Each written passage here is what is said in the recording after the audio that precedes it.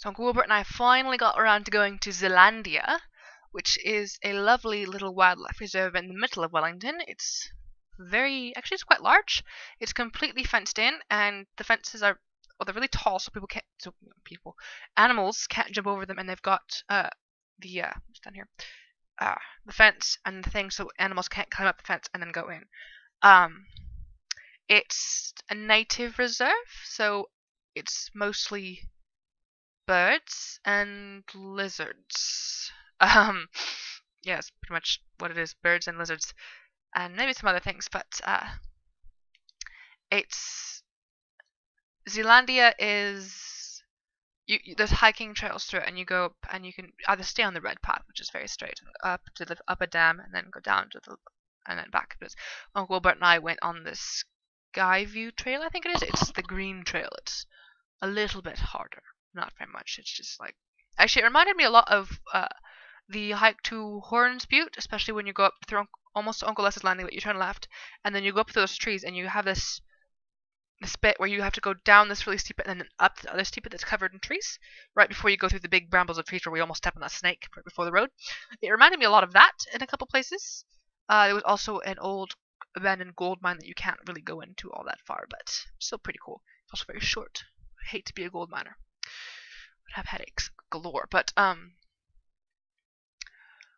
so we we did that, and I took a couple of the pies that I made. Uh, there were two leftover meat pies, and I took two of the leftover apple pies, and we had those for lunch on the way, just a little picnic stop. And uh, there's a lot of birds in there, and yeah, a couple you, you see a uh, you hear a bird, you see a bird like, oh, what's that? And I, it's a bud. It's a Yes, yes, that is a bud.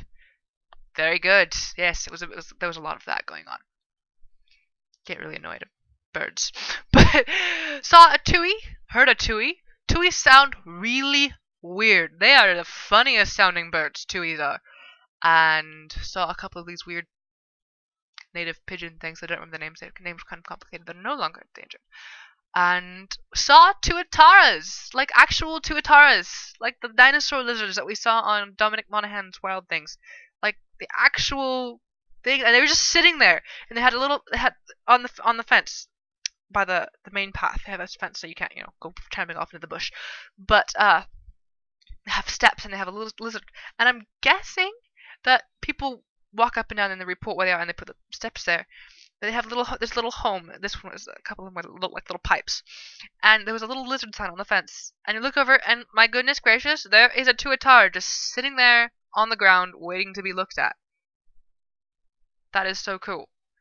So took Money Bunny to Zealandia, and it was a lot of fun. And then we went home and ate way too much food.